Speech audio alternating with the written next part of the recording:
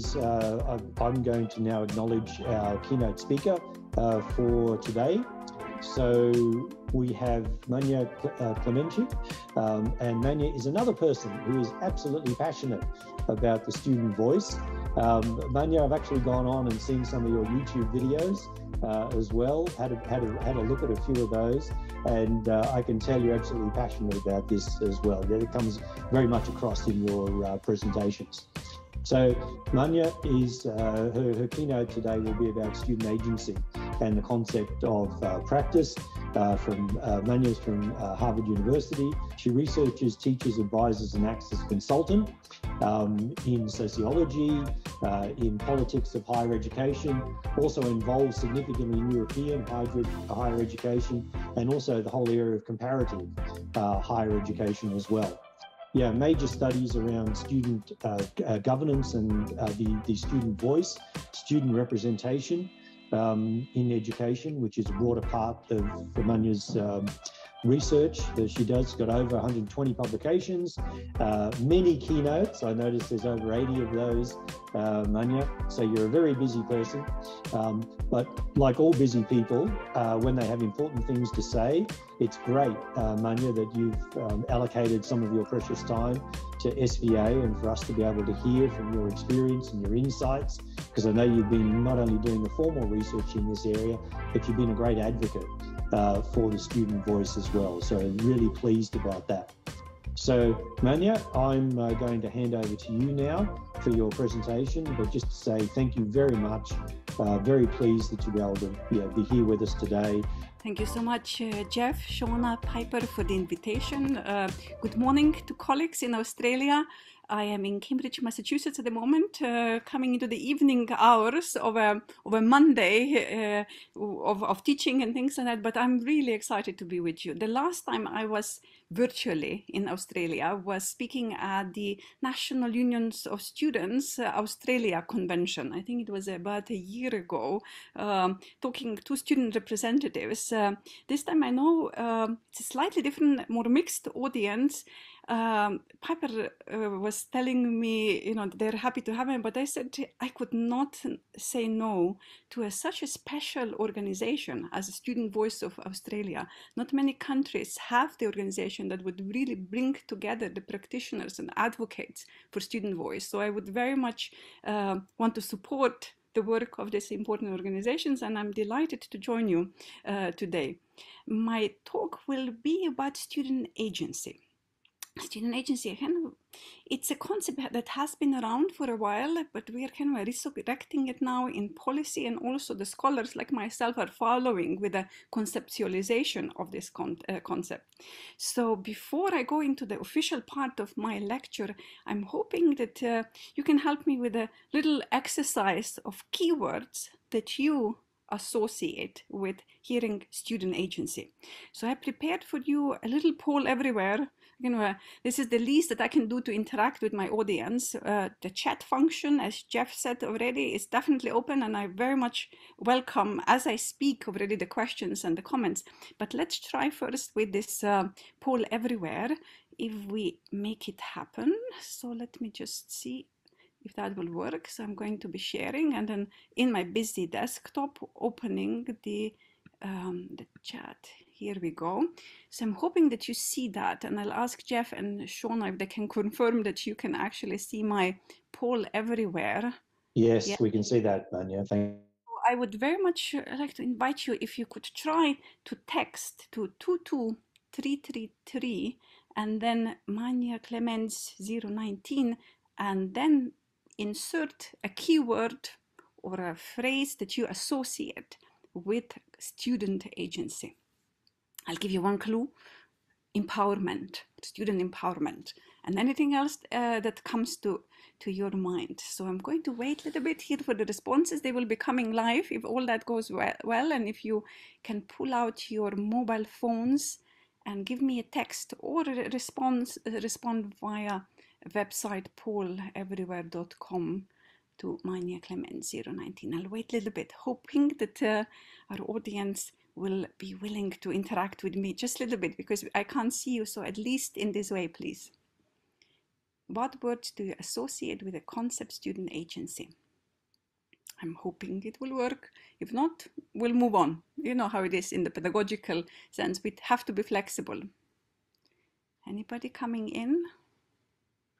Thank you so much. I'll wait then for a couple of minutes. We have collaboration as an association with student agency and people are reinforcing the collaboration is growing in power, student power, empowerment again. Thank you.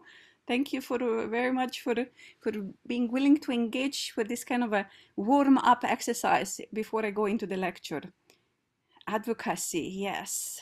Self determination, thank you one of the valuable competencies that we associate with student agency. Absolutely. Partnership as well. Yes, partnership, students as partners as well, right? Change, student agency as a towards directed towards the change responsibility to the students thank you my goodness we have a very competent group here with us validation of students yes representation of students, uh, voice or vocal engagement, support. Thank you. It's our word cloud is on fire now. Thank you so much. Let me see what else. Value, innovation as well. Collaboration is still big. Student action, student change, student power, authentic knowledge, ownership as well, right? Student ownership of their own universities if you give them agency, if you allow them to be agents rather than the, rather than the objects of the um, of being passed on the knowledge. Accountability, validity, yes, responsibility to students. So have students being responsible for their own learning, education pathways, but also for the higher education institutions of which they're part of, or education institutions to which they belong. Thank you so much. Look at this, our cloud. I'll keep it on for just a matter of. Seeing students as experts as well, exactly, in expert roles, so representative roles, student as expert roles, providing valuable insights into decision making within the higher education institutions. Wonderful, you're a wonderful audience. I don't see you, but thank you so much for being uh, willing, your willingness to engage with me. Look at what we have. We have awareness, we have assertiveness as well. Uh, we have voice together, so lots of collaboration, partnership uh, as well between students and other members of the academic community, like uh, Jeff has spoken earlier. Uh, expression, support, learning. Thank you. I'll stop it here and uh, we'll stop sharing and go now into my slides. But I'm keeping this one. I'll send uh, to to my colleagues at the, at the Student Voice Australia just to remember this one. Thank you so much. Revolutionary, somebody mentioned exactly. Student agency can be as well enacted for revolutionary purposes when really big changes, social transformations are necessary. Thank you so much. I'm stop, stopping this part and going now into the um, official part of the lecture with my PowerPoint presentation. Let me just try to set everything up. I haven't been on Zoom for a while, thank goodness. We are back in person here at Harvard. Um, so here we go. And I'm going to try to do it like this. I'll probably have to stop this one, the word cloud, which is completely full right now. And we'll open up don't mind my busy, desktop. There you go. And just a moment, I have to start sharing once more, more because I think I posted before. There we go. There we go. So we are starting. I'm making putting into the PowerPoint presentation so that you will have it easier. I'll try to do with you about 45 minutes lecture with some intermissions um, and uh, via the chat function. I'm sorry I can't interact that much more because webinar has a more limited uh, possibilities of interacting with the audience. So I'm trying really to introduce the concept of student agency uh, as linked to student voice, uh, kind of offer a more overarching framework uh, of what we know under this uh, term and kind of bring a kind of umbrella uh, conceptual framework uh, to our discussion on student voice. Um, so the thesis that I'll put forward today to you is that to understand and to foster student experiences and student outcomes in higher education, we need to understand and develop not student satisfaction, which were kind of the earlier phases of, uh, of that was promoted and measured more in the consumerist terms, not even merely student engagement, but really student agency defined as students' capabilities to navigate, influence, and take responsibility for their learning and education pathways and the ecosystem, high educational ecosystem of which they are part of. And if you're wondering, so where does student voice come in this, is really this part on influencing, right? One is to navigate, to understand how education institutions of which they are part really work and to find their ways around them.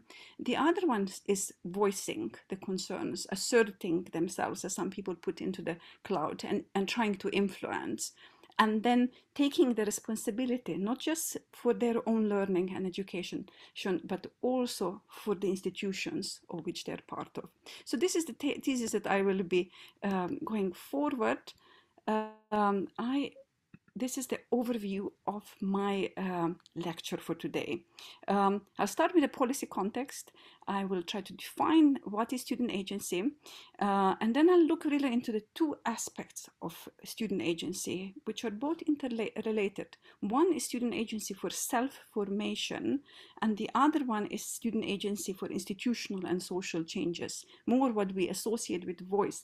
But voice is also in the self-formation part. Um, and then in each of them, I will engage you in a discussion in how higher education structures or education structures can help develop or strengthen student agency for the purposes of self-formation or for the purposes of institutional social change. So this is the part of the discussion and I'll be inviting you in the chat function and I hope you will be with, with me. The sources here are uh, the forthcoming chapter in the research handbook on student experiences in higher education, which colleagues from, I think from Australia and New Zealand, um, are uh, Chi Baik and Ella Kahu are, uh, are editing and th there I'm proposing a theory on student agency in higher education and some other works that, that I have done, a forthcoming chapter as well on, on introducing the theory of student impact in higher education, which isn't completely finished yet. So um, I'm not putting it into my sources yet, but it's something in the writing because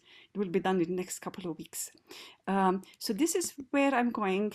In chat, as we go, please feel free to add comments and suggestions and questions, and I will leave time at the end and in the intermissions to kind of engage with those questions already.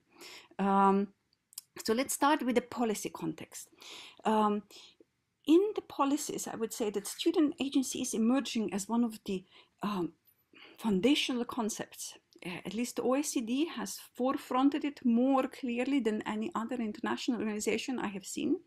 Uh, in fact, they have put it at the forefront of the OECD Learning Compass 2030, uh, claiming that it's rooted in the principle that students have the ability and the will to positively influence their own lives and the world around them. So really very much kind of showing the basic principles of student agency. And they define it as the capacity of individuals to set goals, reflect, and act responsibly to affect, uh, to affect change. Um, this concept is um, informed by the progressive educational philosophy um, that argued that the purpose of education is also to prepare individuals to become active um, uh, and in, agentic individuals, um, agentic within the communities of which they're part, part of, agentic with the community members uh, with whom they share the common spaces. Uh, and that those are the kind of a, uh, key principles that enable functioning democratic societies, functional cultural spaces, um, and also uh, free open market uh, economies. So it's it's very much, and, and OECD puts it like this, that uh, student agency is about acting rather than being acted upon, shaping rather than being shaped, and making responsible decisions and choices rather than accepting those determined by the others. So this is the new policy context uh, uh, developed in 2019, and, and in a way, uh, researchers, we are kind of catching up. They were several studies already that have introduced student agency concept before uh, in the scholarly work, but non, no kind of a comprehensive framework. And this is where I'm trying to fit in the gap or fill in the gap as well conceptually, and uh, hopefully also do empirical studies following uh, uh, on the basis of that. So from the policy context, I'm moving into the definition. Um, and, uh, and basically, I gave you the earlier definition really uh, identifying student agency as capabilities of students, right? Uh, we said to navigate, to influence, and take responsibility for their own learning and for the education ecosystems of which they are part of. But student agency, the way that I uh, conceive it here, is premised on student agentic opportunities which are external to the student and are part of the structures uh, of which they're part of, and the agentic orientations, and those are internal to the students and very much linked to the students' uh, motivations, dispositions, uh, the will to act, um, as um, as also OECD has put it. Um, and in a very this conceptual model of student agency, I um, I try to uh, explain it as a double conversion. The, the one part of the conversion is where the student students' agentic orientations in interaction with the structures and the processes of which they're part of um, develop into a set of valuable capabilities and this set of valuable uh, capabilities comprise student agency. It's all very theoretical in the moment, but I'll just give you that and then we'll try to bring it more back to where we started the, with the word cloud uh, that is more useful for the practice. So the conversion students' agentic orientations related to their backgrounds, related to their dispositions to actions and translation of those into the valuable capabilities. And then the second conversion is really conversion of the those agentic capabilities that students have developed into the students' experiences uh, and student student outcomes in again engagement with the structures and the processes. I'll leave it at that. There is all that is explained in that uh, chapter on the theory student agency, but I'm not going to go further into the heavy uh, theoretical work. Try to move a little bit beyond that. And maybe if we think about the instrumental value of student agency, we of course uh, go back to the literature that shows that the more agency students are afforded in higher education, the better learning outcomes and less, less likely to drop out from higher education they are. And there have been empirical research, uh, uh, there has been empirical research supporting that proposition. And then there is intrinsic value of student agency. And, and that is that if students have this agency, if we help them strengthen agentic capabilities, we are actually fulfilling that mission of preparing them to become agentic individuals, also beyond the education institutions of which they're part of. And those agentic individuals, as mentioned earlier, are central to the functioning political democracies, cultural spaces, all open market economies, and their local communities of which they're part. Again, acting with other members of local communities. We don't want to I don't want to, with the student agency, kind of a, signal individualism. It's not. It's a lot. It is about partnership. It is. It is about collaboration, as you have highlighted before in the word cloud. And then the second part uh, of this intrinsic value of student agency um, suggests that if institutions afford student agentic opportunities. They become sites of citizenship and civic involvement themselves, and in that way enable students, uh, education um, of students for active citizenship and development of the civic competences through action, not through just courses teaching them what civic competence should be and what civic uh, participation means, but actually institutions themselves um, behaving as sites of citizenship, uh, behaving as real communities where all of the members, all of the uh, internal constituencies are members of these communities uh, in partnership and in collaborations and in joint responsibility for the well-being of that education community and of the institution that they're part of. Okay, so, so this is the this is the part of the intrinsic and the instrumental value of student agency. Now, I'm moving into the part where I discuss student agency for self-formation. As I discussed earlier, kind of differentiated into two different um, segments, both interrelated, but still conceptually slightly more distinct. And one is enactment of student agency for the purposes of self-formation. Here I go with uh, Simon Marginson, uh, a fellow Australian, now in Oxford, and the director of the Center for Global Higher Education proposition that we should view really higher education um, as, a, as a student self-formation. Uh, and, uh, and here, you know, I look into the, the, the opportunities, agentic opportunities and agentic dispositions that allow students to develop capabilities that will foster their self-formation. And the list that you see here is really the collection from the literature, educational research mostly, of the valuable capabilities that researchers have brought together to help students uh, pursue that self-formation. And I'm sure with the audience that is there, uh, given your backgrounds, uh, either in the student development or student engagement offices um, or fellow students, this will probably not be new. I'll just kind of try to bring them all together into one roof as a valuable capabilities um, kind of a set of capabilities comprising student agency for self-formation. Um, Bandura in 2005 article has kind of has nicely uh, collected them, uh, highlighting intentionality, so self-direction, forethought, setting goals, uh, anticipating likely outcomes of actions, self-regulation, Zimmerman, uh, uh, developing goals, developing strategies, assessing strategies based on the outcomes, and then another cir circle starting again with the new with the new goals, new strategies, and personal development planning is one of the concrete actions which uh, think probably, and I will, I hope you will be telling me in the chat if, if that's something that you do in Australia as well, but it's very much practiced in Britain. Less, I would say, in the United States, um, but where I think all good educators should help students to do is within their own courses. I try to help students to be self-regulated in the sense to set their personal learning goals in my course um, and, uh, and, and,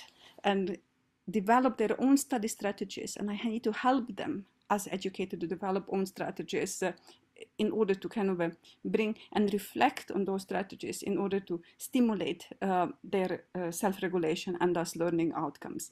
Self-authorship and self-awareness, uh, self-determination, as colleagues have mentioned before as well in the word cloud, self-efficacy, so kind of a sense that, that you can succeed as Bandura puts it really nicely, unless people believe they can produce desired effects by their actions, they have little incentive to act, to even try, right?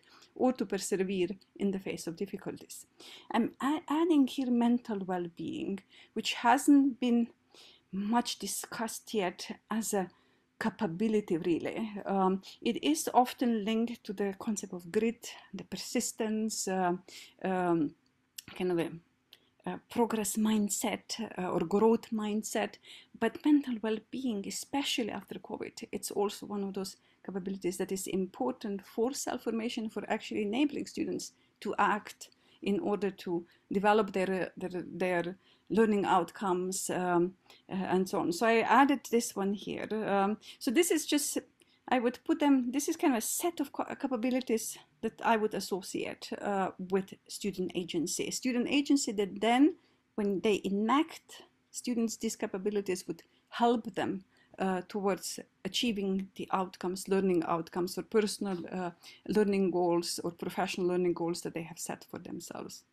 Um, so here I come now into a um, hopefully a little bit of a chat discussion. So I already see there is a chat going on, so a little bit stop um, because I'm hoping that we can discuss uh, from your context how through what kind of services or what kind of measures or practices uh, your institutions are helping students develop those competences or those capabilities I have discussed earlier um, that scholarship shows us is are helpful for students to self-form or develop their uh, achieve their learning goals. So i'm going to stop here. I'll go into the escape and stop sharing so that i can go into the chat and uh, see if there are questions in the chat first of all but hoping as well that people will be willing to bring into the chat some examples of how your institutions or the offices that you work in help students develop student agency, self-determination, self-regulation? Do you have a specific, do you practice personal development goals and, and students preparing personal development goals, identifying those or some other pro, uh, processes? So let's see, nothing yet. So I'm going to, you know, like I do with my students, pause a little bit here. Um, that was a kind of a conceptual, a big conceptual junk on um, trying to understand student agency for the purposes of self-formation before we go into discussion of stu enacting student agency for the purposes of uh, institutional social uh, change. Okay, so let's see. There's, there's a couple there's a couple coming in now, Manja. Yeah. Thank you. I am beginning. I'll grab a glass of water and see. Mm -hmm student as partner program CMB 063 is giving here to me and I would love to hear the explanation how this works. If you could just give me a couple of more uh, words, what does that mean? Is it training students um, for different roles within the institutions, expert roles or, um, or something else?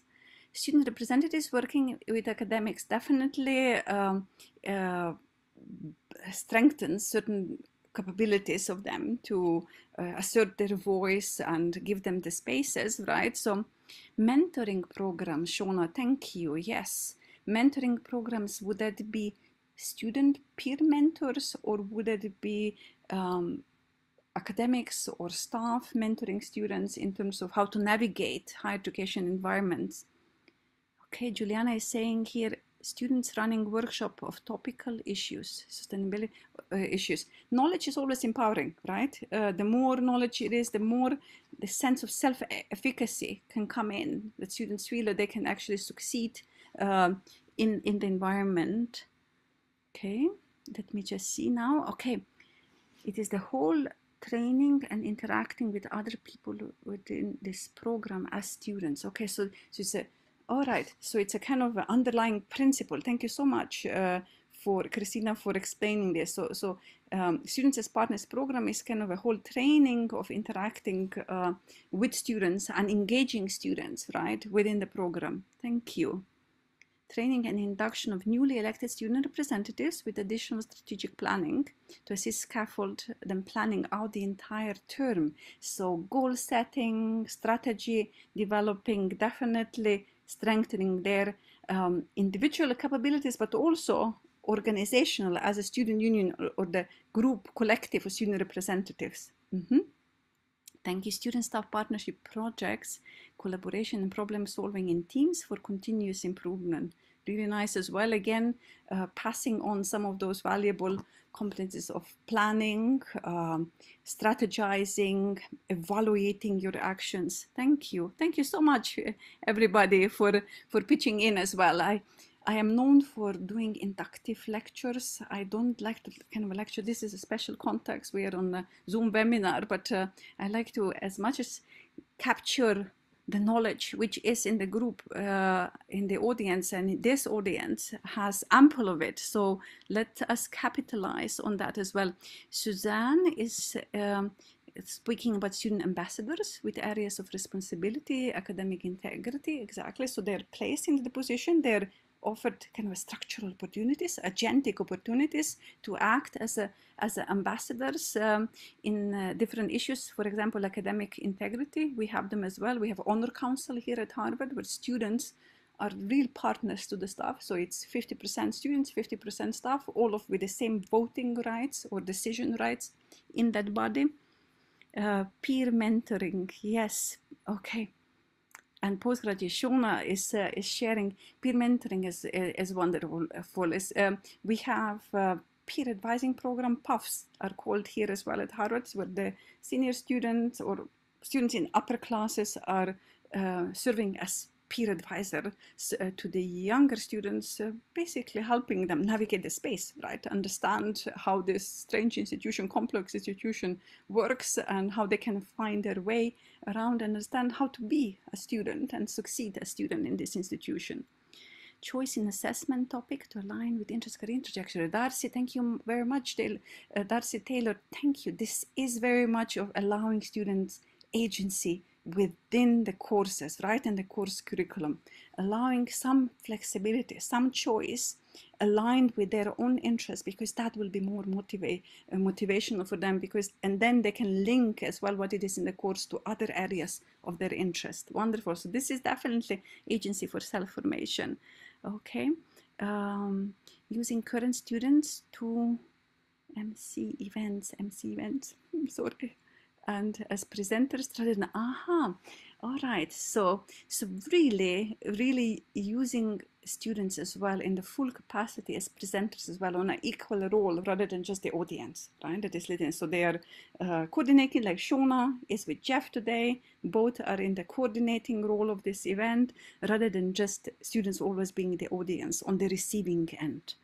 Mm -hmm student governance framework. We are moving in there. So uh, some of these things, some of those practices will be repeating itself when we move into student agency really for the institutional change and social change, more directly student voice. Um, but, but I'm going to mention them nevertheless. So Brie Glasbergen is discussing student governance framework, assisting students to represent different groups uh, within the student ecosystem student representatives also need training, right? They also need capacity building. They also need to strengthen their capabilities in order to be able to represent students uh, uh, fairly and uh, and efficiently and professionally and really exercise the voice uh, and the powers and the authority that was vested to them uh, through the elections. So Wonderful. So they have the trainings to run meetings, prepare agenda, create events, all very much empowering and all helping them build the capabilities, strengthening their agency.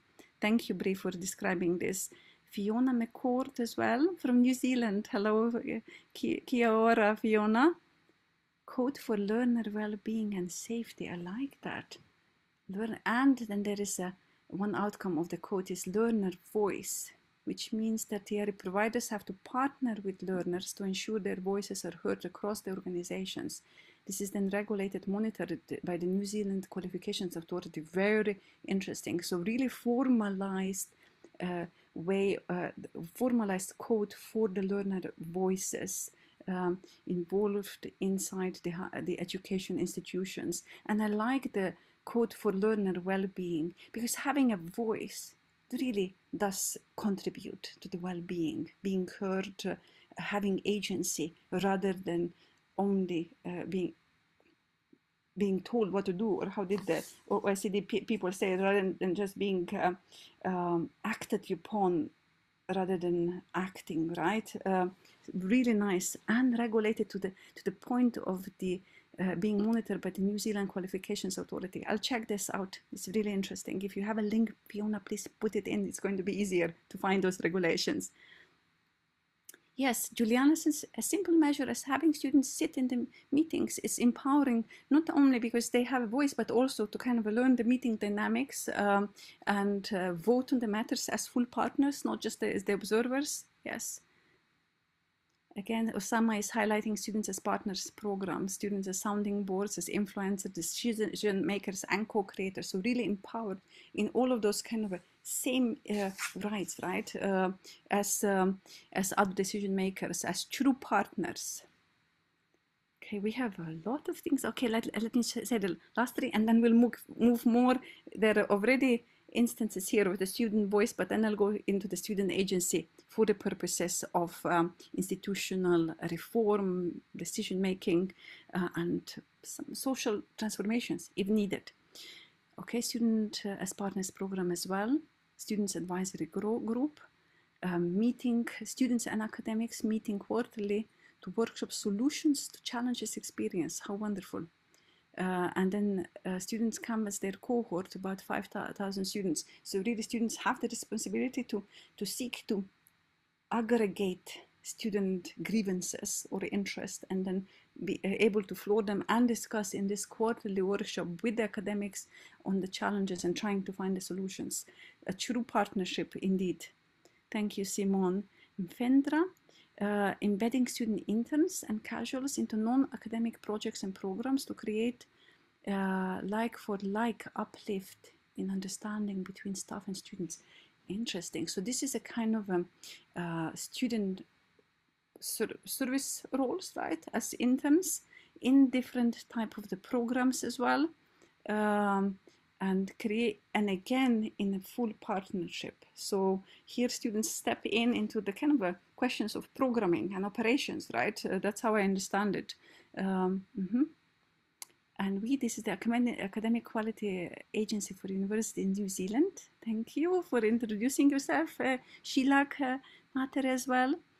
Um, work with national students associations and universities to develop capability for new students coming into academic decision making roles. So again, training the newcomers, um, passing, helping them pass institutional memory from the previous ones so that they can embrace and that they're prepared for the roles uh, that they have acquired. Wonderful. Student Voice Summit. I think I might have spoken in that one in New Zealand. But I have been in a lot of events, as Jeff has said recently during the Zoom. I traveled a lot virtually.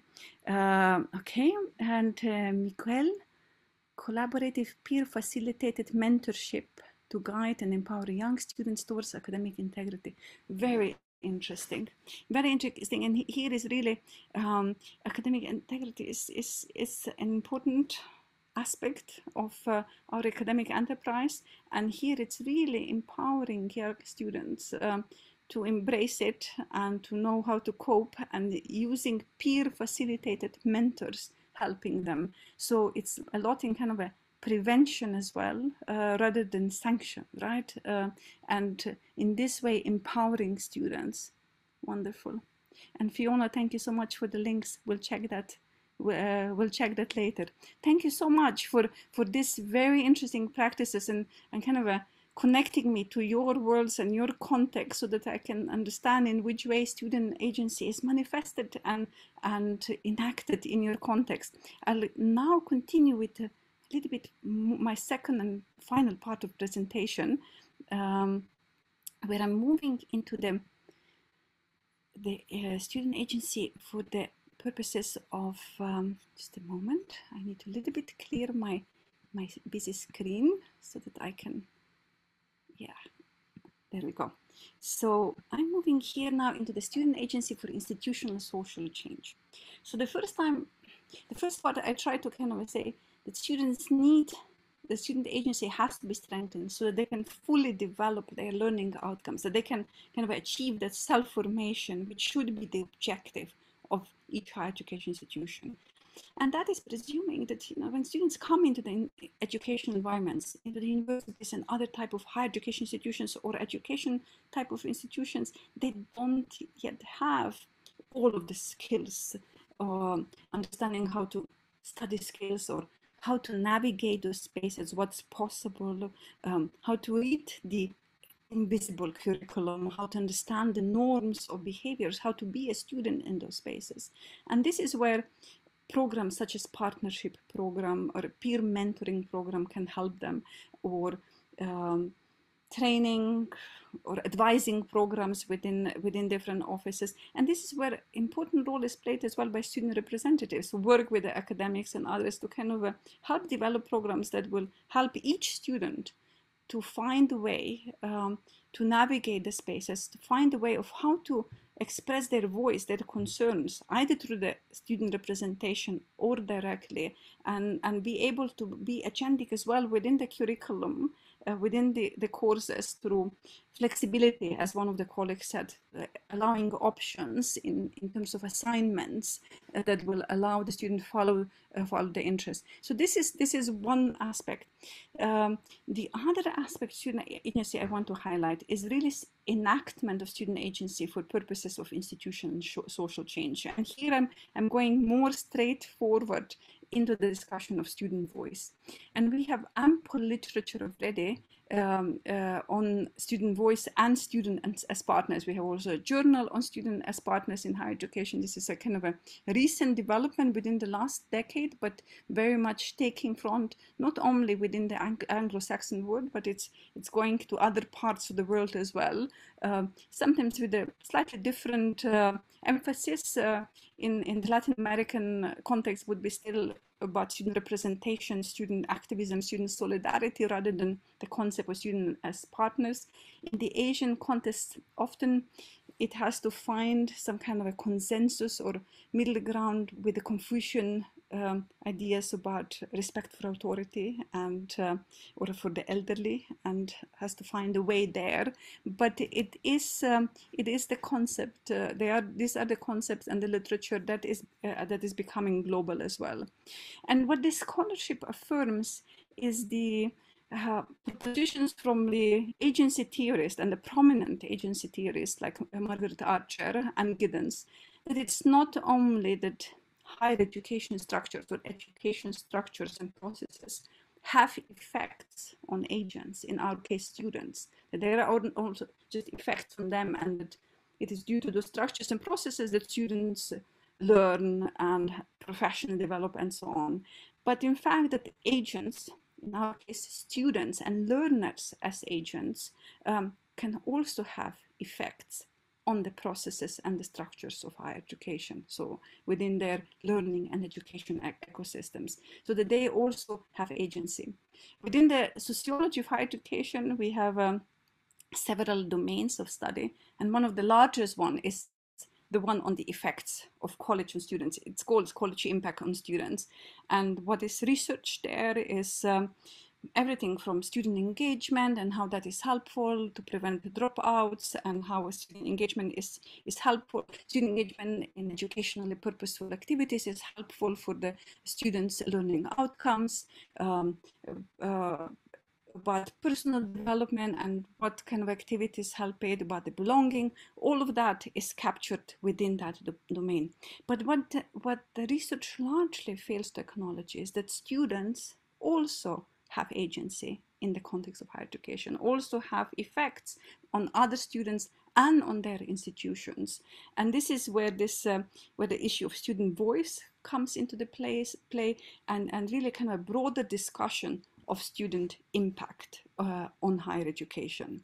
Um, so when we think about the capabilities needed for students to have the voice um, for institutional social change. We can think about the same or similar set of capabilities we have discussed earlier for the self-formation, the forethought, intentionality, uh, self-regulation, self-efficacy sense, sense that the change is possible. Um, uh, so, so all of those are relevant here, here as well, but this time enacted for the purposes of uh, institutional change or if you want to go beyond it, social transformation rather than for the purposes of self-formation. And again, the importance of agentic orientations and agentic opportunities is, is still there, right? It still means that students have to have a will and motivation to act and that there have to be opportunities for them within the structures. Either opportunities exist already or they push for the opportunities to present themselves so that they can have institutional and social change. The programs that you have mentioned before, students as students as partners program, the New Zealandish example um, of very formalized rules for the learner voice, those are the agentic opportunities derived from the from the environment that I speak about. Sometimes they do not exist, and this is where students have to become agents for the changes and and claim those spaces and, and enact those changes that bring about um, uh, agentic opportunities for them to express their voice. Um, I'm going to go a little bit more theoretical here um, to discuss. Well, I'm sorry, I should be actually in the presentation mode so that you can see it better. Um, so I have this um, another conceptual framework, and this is the student impact model in higher education, which really explains how student agency is enacted towards student impact on higher education. And this one has five propositions, I'm sure all of them very familiar uh, to you, just judging from the previous input in the chat. Um, and the first proposition is that students in a variety of roles on campus or within their educational ecosystem can directly and purposefully influence the, these higher education ecosystems. And these that I call high impact roles or the roles for direct student effects on their higher education ecosystems exist within student representation, um, on-campus employment, uh, or voluntary services. Uh, in the examples you have mentioned before, we have student interns program, we had student peer mentorship programs. Um, they they were somebody mentioned as well students that are part of the academic and integrity uh, committees. Those all are high impact, potentially high impact roles of the students. Leadership roles within student groups and organizations. Again, um, present opportunities for those students to have effects on other stu students and together collectively shape the student life or um, uh, campus life uh, within the institution that they are part of. Activism is also uh, possible high student impact role. I don't know the relationship uh, in Australia and New Zealand to activism. In the U US, from the uh, from the revolutionary 60s um, and uh, the protests um, uh, and the more adversity of the institutional leaders towards uh, activism, I think we have more in the recent years moved into the at least narrative of um, student uh, of, of, university leaders embracing uh, student activism as a form of civic engagement. So it's a kind of a change in the narrative. Um, I think the conditions still are as long as it is non-violent, uh, so peaceful prot uh, protest. But it's um, it's an interesting change in the in the uh, at least the, the, framing of the relationship that institutions have towards the activism, rather than to prevent it and uh, and control it. Um, and seeing it, uh, it as a kind of a, uh, deviant behavior now into more kind of embracing of student activism as a, as a form of, of uh, civic eng engagement. But that's the, that's the US example. I would be interested if you would be willing to share in the chat what are the kind of attitudes to activism in your context. So as said, so there are campus roles, uh, potentially high impact campus roles that enable students uh, and afford them with this, at least with authority and opportunities for having effects on other students and the institutions that they're part of. And, uh, and the student impact occurs on a continuum. So different roles afford different potential degrees of impact. Some are more high impactful than the others. And the same student role affords different degrees of impact at different times. Um, for example, um, I, student representation, student representative roles, so elected student representative, in principle, at, le at, least according to the formal rules in most of higher education institutions, this should be high impact roles. But there are ways for institutional leaders to you know, diminish the uh, the power of the students. Um, and uh, I mean, the trick tricks that uh, can be performed are not informing the student representative properly, even if they are invited to the meetings and have voting rights in the meetings, not training the student representative properly um, so they can be professional and and impactful in their roles. I mean, there are ways that uh, that despite the authority vested in the student representation, the power can be diminished um, if it's being manipulated uh, as well. And of course, then we have uh, lots of systems where students do not have um, partnership uh, type of uh, uh, engagement relationship within the student within the institutional governance and that's that's a different story which is not the case in in, in your context so different uh, types of, and sometimes the expert roles can have even more uh, impact and representation. And, and in some um, higher education system, especially the ones that I'm part of, it's really engaging students as, as experts in, in different faculty committees.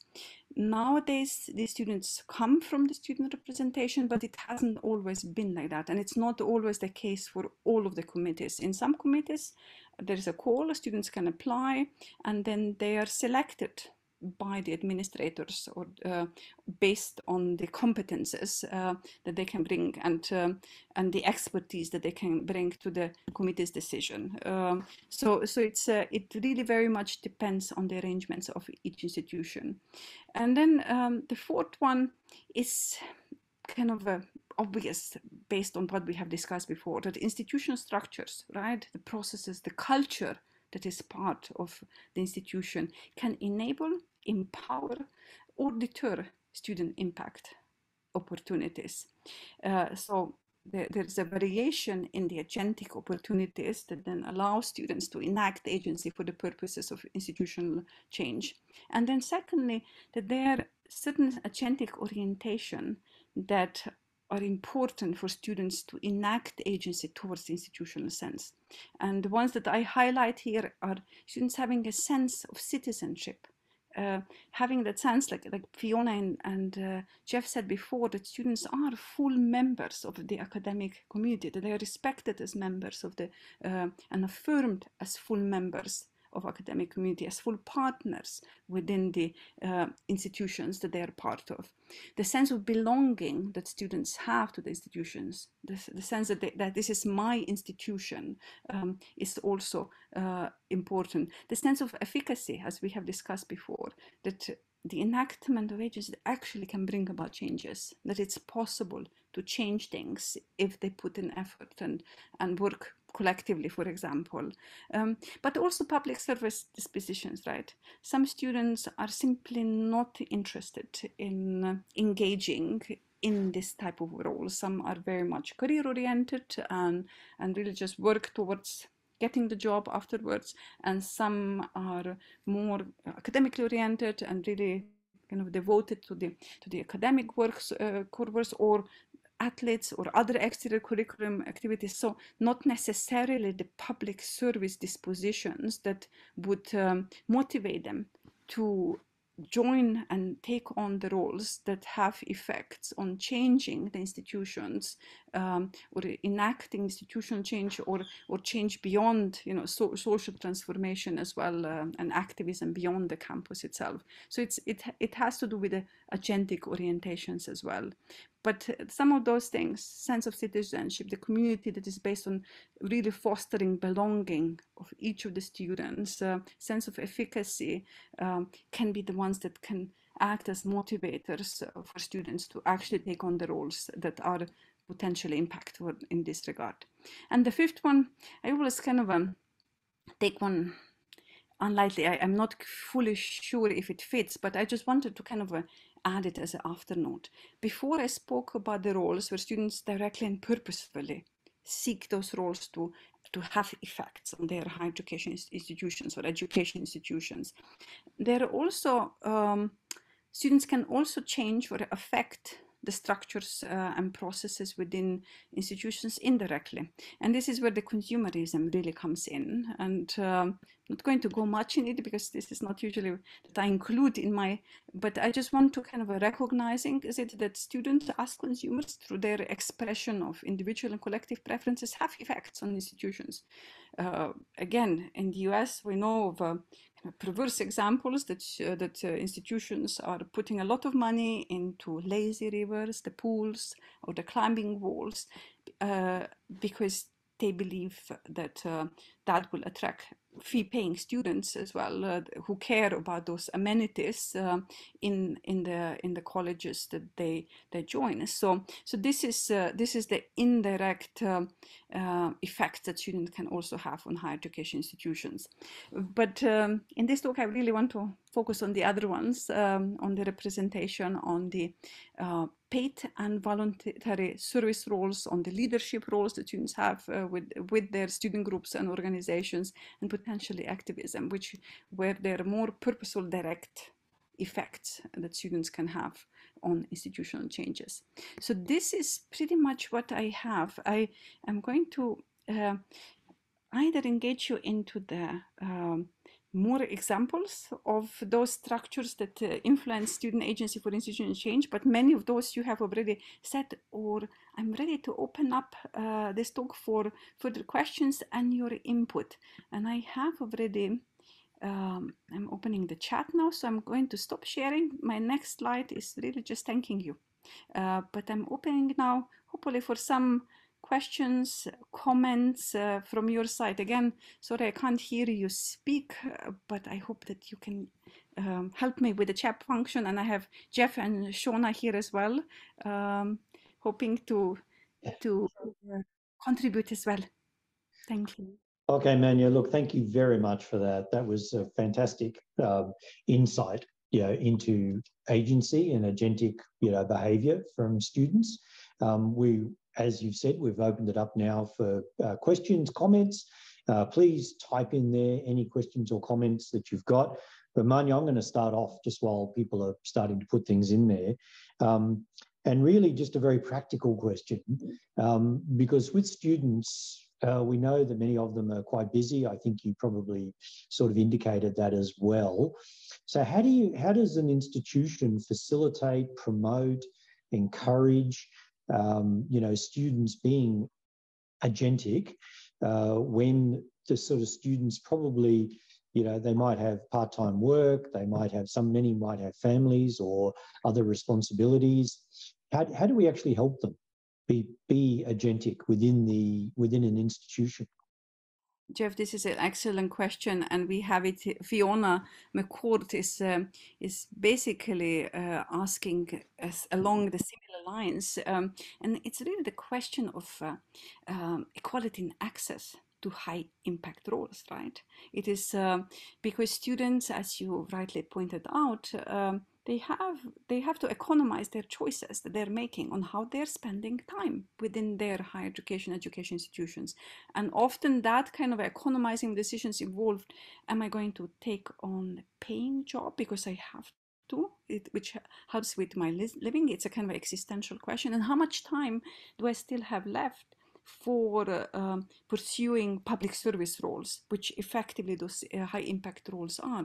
Um, and what I see increasingly across uh, institutions in the United States, but also in Europe, is some form of stipends for student representatives and students who are taking um, uh, roles as experts in, in the various uh, task forces within higher education institutions, just to ensure that we are not excluding out of those uh, roles low income students who depend on um, on labor in to support themselves and or their families uh, during the time of the study and kind of really uh, create equality in access to the public service roles uh, across different student populations. So, and this is not, it's a, it's a question, you know, what's the, there's no easy formula, uh, but it's uh, either a form of assignment or kind of hourly compensation for this role that is becoming much more practice. I see it in, in, in the European context, it is the student unions who tend to take on these roles that uh, take care of, of some kind of compensations. And this is not full salaries. Uh, this is not like UK where they have a paid sabbatical student officers. Uh, it's usually small hourly stipends, um, but just helping them if you either you have to work for hourly wage in some kind of job or you're contributing in the in in the different discussions. Uh, so so it's it's a it's a kind of a some sort of compensation. In in the US of course we have residential colleges and residential colleges create a lot of um, campus jobs. So um, variety of roles, especially kind of being interns in women's center or student sustainability officers or honor council officers would be compensated. It would be just another form of student campus jobs. Those are usually hourly, again, hourly wages or a stipend, a fixed stipend, know, $500 for the entire year would be then a compensation for playing this role. Because otherwise, uh, the situation you pointed very well, it is inequality in access to the public service roles for those who have to work uh, while they're studying. And this is pretty much majority of our student population, isn't it? Uh, so it's it's hardly in any kind of system that we we no longer have. Uh, I mean, most of the students are working one way or another, some more uh, than the other, but uh, but this is how we would then ensure the uh, the equality in access to public service roles basically. Public service roles that are valuable you know engaging students in the roles that are then valuable as well for the um, advancement of the university in the sense of uh, joint decisions as, as uh, colleagues have discussed before where academics and students come together to address the challenges that students have um, identified uh, within their community um, and so on. So this is something but i would be interested in how you are dealing with that question as well in Australia, whether stipends or some compensation is common or not at all. Is uh, that is the case? So if somebody is willing to, uh, Shona is uh, pitching here in as well. Could this be the case for getting higher education up to the same standards of other industries. In healthcare, it is increasingly required in policy that consumers are compensated for their involvement in research, for example, yes, particularly if they participate in co-design co uh, of research services in progress. This is one example, and, and yes, uh, I would say that some compensation for um, because unpaid i have a student right now in my class who is doing a project on uh, on unpaid labor among students as well and again pointing especially to the difficult decisions among the low income students who have to work while studying and uh, not choosing public service roles, which all of those roles are, because of their existential issue of, of needing to earn money um, if those roles are uncompensated.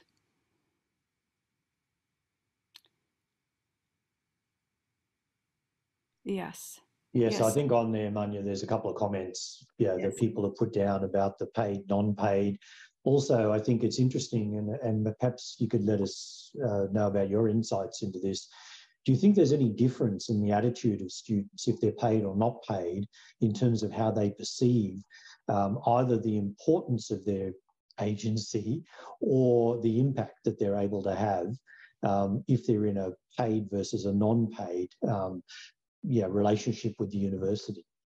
It's also a very interesting question whether it changes in in some sense.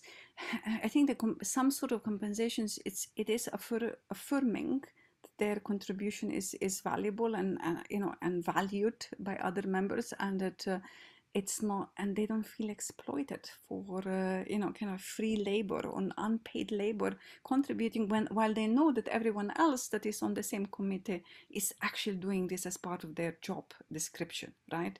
Uh, whereas they would be coming in as as volunteers. Uh, so so it is uh, it, it is this kind of affirmation of the fairness of being partner in that particular endeavor. And again you know that doesn't mean salary but it, it is some form of com compensation. I mean, some um, institutions, this is Europeans mostly, are, are thinking about credit, course credit, especially kind of service learning type of courses could give credit to students for, uh, uh, for public service roles on campus right?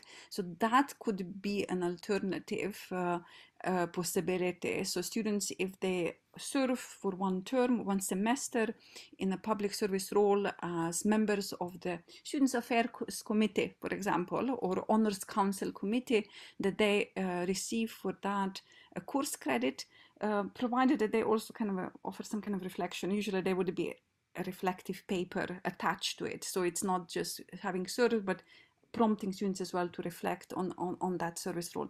That is, but usually a more, more common nowadays is becoming a sort of hourly compensation or a stipend for that, uh, for that role. Um, so uh, again, you know, it, it's the question I think of affirmation and and just being able to take take time, right? Uh, because they are split among many different uh, opportunities what to do while they're on campus some where they have to work for pay but also other extracurricular opportunities.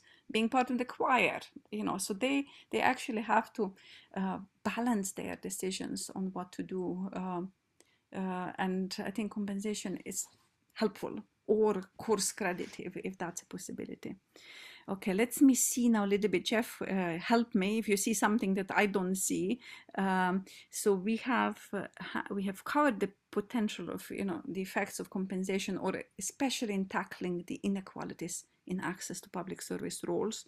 Um, and uh, our staff often make comments about their workloads and being required. Just a moment, this is jumping a little bit. Uh, oh, Manja, that was just a comment from me that our staff always say that they're being asked to do more for either the same, you know, uh, remuneration or uh, whatever. And I think we just need to, you know, think about our students in the same light. Yep.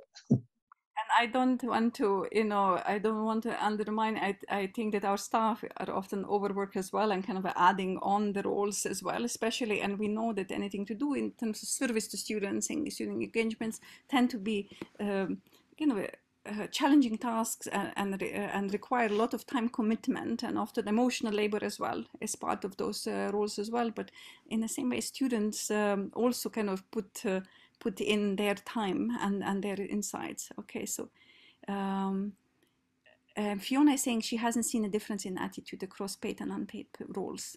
Always very engaged. Fiona, I tend to agree with you uh, on that because there are just students who have this kind of a public service disposition, right? That uh, try to give give it the best uh, and will give it the most and i have worked so much you know in my life as a student rep. I was serving uh, on a various in a various roles on a various levels up to the being a secretary general of the european students union uh, representing over 11 million of european students towards the european commission the parliament and other institutions. And i mean on a very kind of a limited salary if, if it was at that time but it was still paid. But lots of but my executive committee they were all volunteers all fully and 100% engaged. Um, um, and it's um, i would say they will do it nevertheless. They will do it but the question is who is choosing those roles and who can afford doing this role and whom we are missing among the, the students who are taking on the roles because they, they cannot afford to take on the roles, right? It is really the question of equality uh, of access to the public service role. But you, I agree with you. Those that are committed will, will work and uh, uh, well beyond uh, what is what they're asked for because they're committed and they're doing it for the purpose, right? It's give them also the sense of having a purpose while being a student as well. And uh, I guess, uh, Manja, some of the other comments there um, around our regulatory uh, frameworks and environment, and, and that would vary, I guess, across different countries as well. Um, and also when it starts moving into like whether it's a work integrated learning activity or an internship or a sort of formal thing that's part of a course, versus something which is done outside of the individual course and is more general rather than sort of course specific. So I guess that's partly what that comment is about. Although I wonder whether you also want to pick up on the one Kelly uh, has put there, which is really about, um, at least I'm reading this, Kelly, and you can explain if I didn't get this right, around the individual versus the collective. So is the agency around, well, I'm doing this because it's enhancing my agency as an individual and I'll be able to do use this for other things I want to do later on versus I'm doing this as part of a larger group or part of a community that I belong to. And that's actually why I'm doing this. Uh, wonderful comment, Kelly. I sometimes struggle with this kind of individualistic lingo or the narrative framing that that especially Amartya Sen's uh, capabilities approach might suggest. I'm trying to fight it um, and really emphasize the collective nature of engagement uh, uh, that's uh, of students and, and enactment of student agency. Um, and the representation, student representation would be a prime example, just the awareness that there is so little that one can achieve one, on one's own in that context. But also if we talk about student self-formation, learning is essentially a social process. Students learn not just from their teachers and by themselves, but most of the learning happens within the classroom from their peers as well. So as a kind of a social social process, collaborative learning is one of the most effective um, pedagogical method that one can enforce within within the classroom. Peer-to-peer learning and creative opportunities for peer-to-peer learning and another highly impactful method of teaching. So so if there is a way that i can reframe it uh, uh, please uh, you know send me a message. But I, I i i i do take your point that kind of talking about the agency um, might kind of misleadingly emphasize the individualism, right, the persistence, rather than uh, attention to the collective uh, pursuits that uh, students are uh, engaging in when they're pursuing institutional changes or the collective nature or uh, social nature of the learning that happens within the classroom and students in, enacting agency in, in that context. But thank you so much. So I definitely want to drive home the message of student agency, um, not supporting the individual endeavor, but really uh, enforcing student students being part and equal members of a community and engaging with other members of, of, of that community. So, I, so definitely um, going against the individualization because it simply doesn't work. And and even you know, Amartya Sen is kind of a there's lots of talk about you know grit, persistence, uh, growth mind, and all of that. And I reject it also on the purposes because, uh, first of all, we are part of the social structures, right? And and also it's not just up on the individuals uh, to achieve that. It is really very much part of the of the social structures in which we are that help students to develop those agentic capabilities and create opportunities for students either to be agentic within the classroom with the flexibility options or to be agentic um, and as partners of the of, of their institutions pursuing institutional changes or changing finding solutions to the to the problems that they have identified. So so thank you so much uh, for for kind of pointing this out because uh, i really wanted to have a chance to clarify it but definitely uh, relational community partnership narrative rather than individual narrative behind the student agency. But I, I see where you come. It could be easily seen because, especially um, because I'm framing it very much on Amartya Sen's capabilities approach, which is also taking uh, for more individual. Uh, individual. Um, Jeff, can you help me a little bit to find? Look, I think there's, um, yeah, so people have put in some comments, examples things there, but I will just um, perhaps, uh, Manja, uh, encourage you to give us your thoughts on the issue of the different the different voices that need to be heard. Because if we think about our student body, um, our student body is very diverse. So we have in all of our jurisdictions, we have international and domestic students. We have students uh, who are straight out of school versus students who have had a sort of a significant life experience. Um, you know, uh, we also have um, different cultural groups, you know, within within our institution. How do we how do we facilitate or how do we encourage a diversity of voices? And how do we avoid a situation where there might be some voices that, for whatever reason, appear to be a bit louder than other voices, um, and and that means that some voices don't get heard at all, even though we might have great intentions we might say, look, we want to hear the student voice, because it's something that we often think about here. I'm just speaking about my university uh, now, but in any tertiary institution, I'll have a diversity of voices. What's your experience around that? Oh, Jeff, a difficult question. A difficult question, and I have seen uh, student unions and student councils very much struggle with it as well, because in principle they should be open, representing the interest of all of the student population. Um, and student population is becoming increasingly diverse as it should and this is a good thing. But how do you capture all of these different voices and how do you bring them uh, and how do you aggregate all of those different student interests and in order to be able to represent them and intermediate them to the institution it's a difficult question.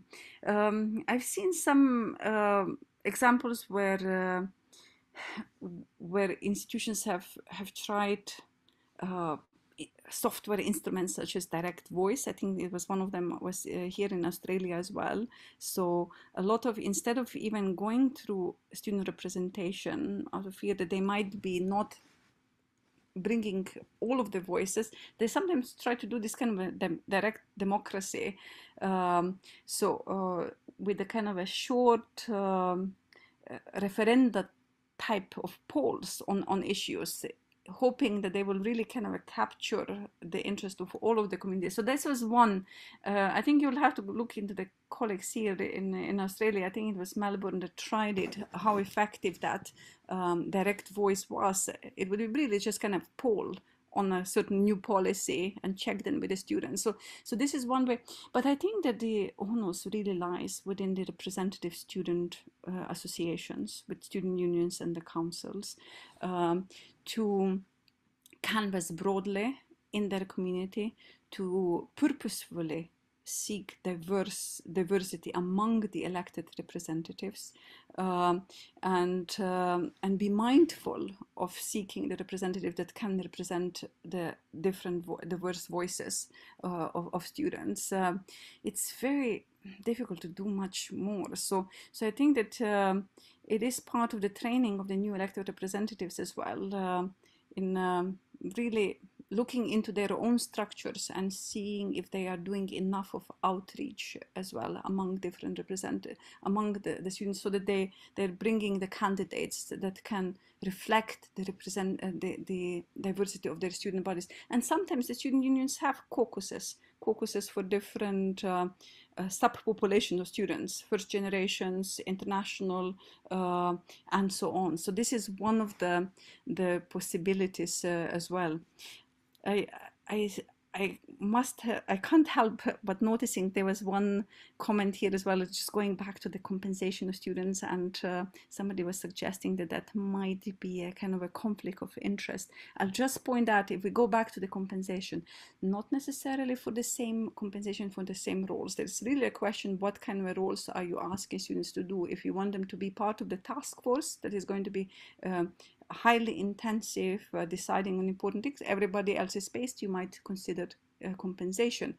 If you uh, call students together for a town hall to discuss the curriculum development for the study program that you're part of, is you're not going to compensating people on that, right? Um, if you're asking a student, a student to be part of your evaluation committee, part of the accreditation agency, you are going to compensate that particular student as you're compensating other members of the evaluation panels going into the uh, institutions. So it really depends on what role. If the students uh, are compensated through their union already and are on salary, like in the UK, you're not going to be compensating them because that's part of their job description to come and uh, uh, be uh, speaking in the Senate or academic Senate. So again, it there is a difference in that regard. I just wanted to clarify that part before we close and we go to the next panel, who, uh, which is already joining us. Is there anything else, Jeff, that you would like to point out for the for the final round? Uh, no, I think I think you've done a fantastic job, Manja. Uh, look, I just want to thank you for first of all uh, giving us your insights um, and also hearing a little bit about your studies as well, your research. Uh, but also, I think um, you've really generated exactly what SVA is about, and that's about sharing our experiences and sharing our insights and actually asking lots of questions that's really what it's all about. That's how we learn uh, by asking lots of questions of each other and then finding out what other people are doing. Um, so, you know, we'll we, we've, we've recorded this, we've captured all of the text, we've got some fantastic um, things from, you know, participants as well, as well as obviously all your, um, you know, formal things that you did as part of your presentation. So, look, we really appreciate your time um, here. And as you can tell, you know, uh, this is a group of very passionate people uh, here um, today. And uh, this is something that we want to continue to grow in and with. Um, and I think having a sort of an international uh, uh, community as well is really important because as you're very aware, you know, things are different in different countries and, and they play out differently as well. And that's how we learn from each other. But, you know, everyone's committed to having that student voice um, in yeah, and and whether it's you know SVA, whether it's the other groups around the world, whether I mean New Zealand colleagues have got some fantastic work that they're doing as well, like here locally. Um, look, it, this is really important, but it's really great. So, look, on behalf of everyone, Manja, we just want to thank you very much and really appreciate your time.